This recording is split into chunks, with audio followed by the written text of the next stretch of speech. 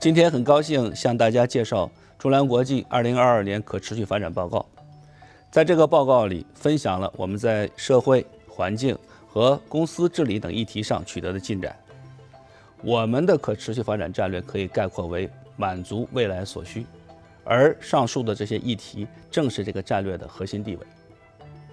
我们在以负责任的方式满足世界粮食需求的同时，始终坚持推动向可持续农业转型。我们多次获得具有突破意义的可持续发展贷款，提高公司供应链中的规范标准，和同行建立了前所未有的合作伙伴关系，这也大大增强了我们业务的韧性。当然，我们也深知。为实现这些目标，未来我们仍然有许多工作要做。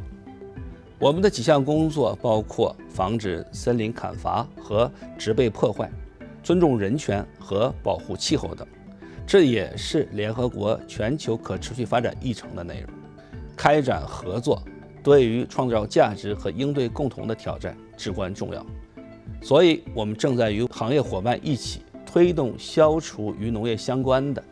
森林砍伐问题，为了进一步改善公司对环境的影响，我们启动制定应对气候变化的企业战略。我们正在测算完整的温室气体排放碳足迹，分析气候变化对业务的潜在影响。安全生产永远是我们的第一位。二零二二年，我们实现了针对员工的安全生产目标。更重要的是，我们正在努力营造积极向上的、具有多元化和包容性的工作环境。在很多国家业务所在的社区，我们援助项目惠及四万九千人。我们支持农民向可持续农业转型，同时改善他们的生计。我们帮助妇女和年轻人培训生产技能，也在当地创造更多的就业。展望未来，我希望大家可以继续支持我们在气候行动方面的工作，以及促进全球粮食安全方面的努力。